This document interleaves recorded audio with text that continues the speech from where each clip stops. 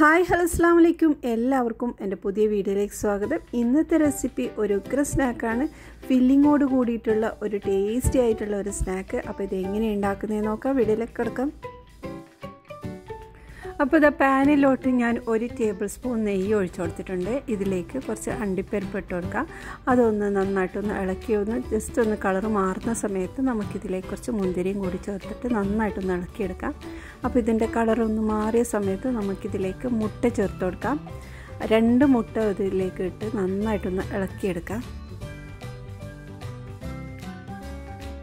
മുട്ട ഇതുപോലെ നന്നായിട്ടൊന്ന് മിക്സാക്കിയ ശേഷം നമുക്കിതിൽ പഞ്ചസാര ചേർത്ത് കൊടുക്കാം. മധുരത്തിന് ആവശ്യമുള്ള പഞ്ചസാര ഇട്ട് കൊടുക്കാം. അപ്പോൾ മൂന്ന് ടേബിൾ സ്പൂണ് പഞ്ചസാര ഇട്ടിട്ടുണ്ട്.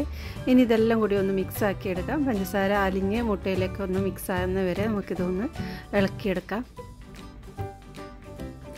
ഇനി ഇതിലേക്ക് കുറച്ച് ഏലക്കപ്പൊടി ചേർത്ത് കൊടുക്കുക അപ്പോൾ കാൽ ടീസ്പൂൺ ഏലക്കപ്പൊടിയും കൂടി ഇട്ട് നന്നായിട്ടൊന്ന് മിക്സാക്കി എടുത്തതിന് ശേഷം നമുക്കിത് ഫ്ലെയിം ഓഫ് ആക്കാം. ഇത് റെഡി ആയിട്ടുണ്ട്. ഇനി ഇതാ രണ്ട് പഴുത്ത നേന്ത്രപ്പഴം എടുത്തിട്ടുണ്ട്. അപ്പോൾ ഇത് തൊലിയൊക്കെ കളഞ്ഞ് നമുക്ക് ചെറുതായി കട്ട് ചെയ്യാം. ഇനി പാനിലോട്ട് ഒരു ടേബിൾ സ്പൂൺ നെയ്യ് ഒഴിച്ചു കൊടുക്കുന്നുണ്ട്. ഇതിലേക്ക് നമ്മൾ കട്ട് ചെയ്ത് വെച്ച നേന്ത്രപ്പഴം ഇട്ട് നന്നായിട്ടൊന്ന് ഇളക്കിയെടുക്കാം.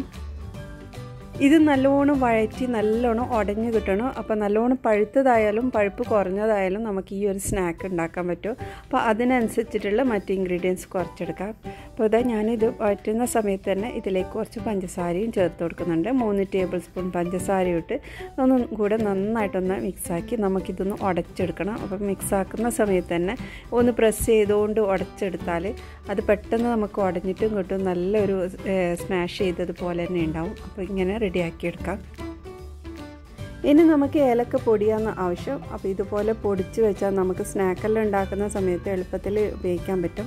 അപ്പോൾ ഉണ്ടാക്കുന്ന സമയത്ത് ഇതുപോലെ നല്ല ടൈറ്റ് ആയിട്ടുള്ള ബോട്ടിലിട്ട് ഒന്ന് നല്ല പ്രസ് ചെയ്ത് വെച്ചാൽ അതിന്റെ ആ സ്മെല്ലൊന്നും പോവാതെ നമുക്ക് ഫ്രഷ് ആയിട്ട് തന്നെ കിട്ടും. അപ്പോൾ അതിൽ നിന്ന് ഞാൻ അര ടീസ്പൂൺ ഇട്ടിട്ടുണ്ട് കേട്ടോ ഇതിലേക്ക്. അതുകൂട്ട് നമ്മൾ കൂടെ മിക്സാക്കി എടുക്കാം പിന്നെ വേറൊരു കാര്യം കൂടി നിങ്ങൾക്ക് എന്റെ വീഡിയോ കണ്ടുകൊണ്ടിരിക്കുന്ന സമയത്ത് ഇഷ്ടമാണെന്നുണ്ടെങ്കിൽ ഒന്ന് സബ്സ്ക്രൈബ് ചെയ്ത് ആ ബെൽ ബട്ടനും കൂടി പ്രസ് ചെയ്യണേ. അപ്പോൾ ഞാനിടുന്ന പുതിയ വീഡിയോസിന്റെ നോട്ടിഫിക്കേഷൻ നിങ്ങൾക്ക് ലഭിക്കും.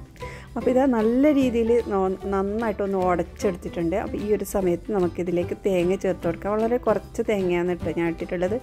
കൂടുതൽ ഇടണമെങ്കിൽ ഇടാം. പക്ഷേ ഞാൻ ഇതിലേക്ക് കാൽ കപ്പാണ് ഇട്ടിട്ടുള്ളത്. ഇനി ഇതുപോലെ മിക്സാക്കി എടുക്കുക അപ്പോൾ മിക്സാക്കുന്ന സമയത്ത് നല്ലോണം ഉടച്ചെടുത്ത് മിക്സാക്കിയാൽ അത് നല്ലോണം മിക്സായിട്ട് കിട്ടും. അപ്പോൾ ഇതുപോലെ മിക്സായിട്ടുണ്ട്. ഇനി നമുക്കിതിലേക്ക് റവയാണ് ചേർത്ത് കൊടുക്കുന്നത്.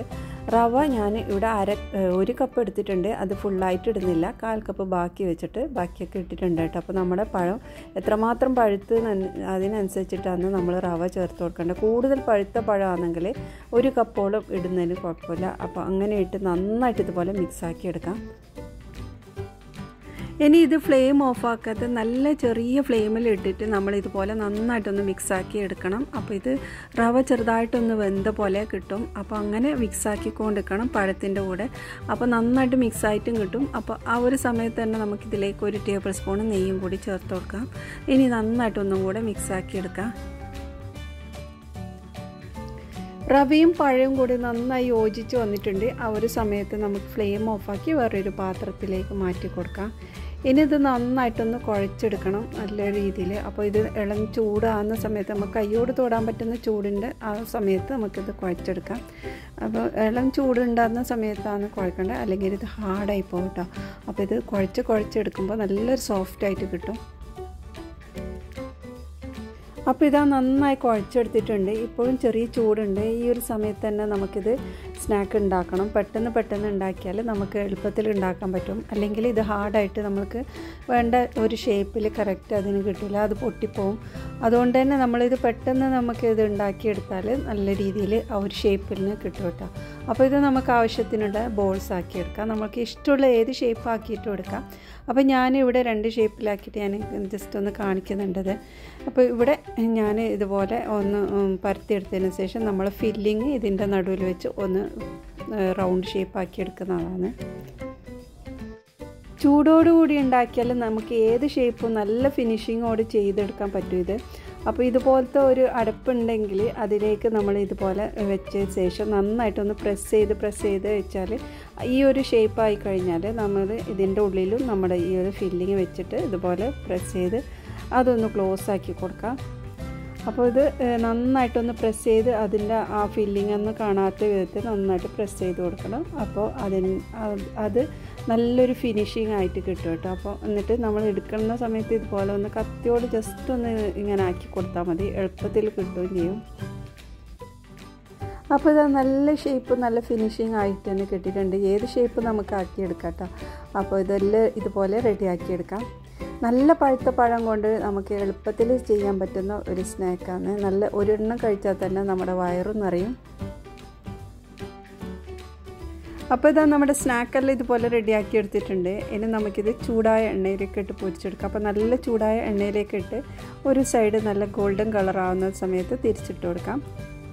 നേന്ത്രപ്പഴം ഉണ്ടെങ്കിൽ നമുക്ക് പെട്ടെന്ന് ഉണ്ടാക്കിയെടുക്കാൻ പറ്റുന്ന ഒരു സ്നാക്കാണ്. ഒരുപാട് പഴുത്ത പഴം കുട്ടികളും ആരും കഴിക്കാത്ത സമയത്ത് നമുക്ക് ഇതുപോലെ ഉണ്ടാക്കിയാൽ തീർച്ചയായും എല്ലാവരും ഇഷ്ടപ്പെടും. അടിപൊളി ടേസ്റ്റാണ് നിങ്ങൾ മസ്റ്റായിട്ട് ഒന്ന് ട്രൈ ചെയ്ത് നോക്കണം.